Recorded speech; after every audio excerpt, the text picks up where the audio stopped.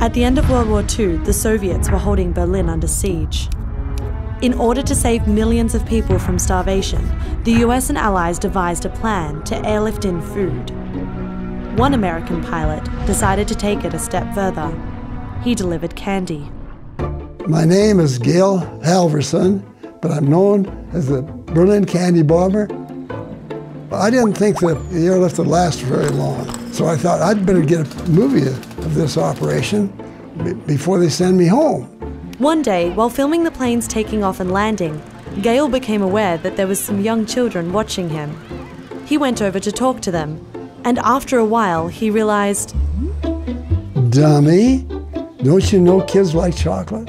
And I knew that they had not had chocolate in the stores in Berlin for two years. And I reached in my pocket, and I, all I had was two sticks of Wrigley's Doublemint gum.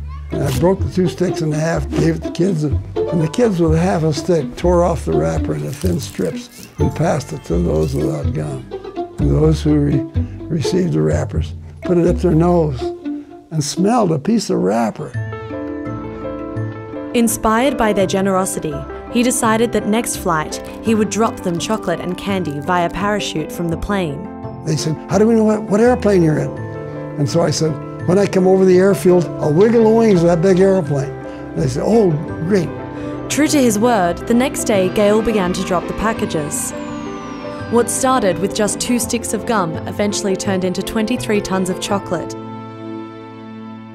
From then on, I was known in the press and all the kids in Berlin, that's Uncle Wiggly Wings. And in case you were wondering if the candy bomber still has a sweet tooth. Oh, yeah. I still eat chocolate. I like dark chocolate.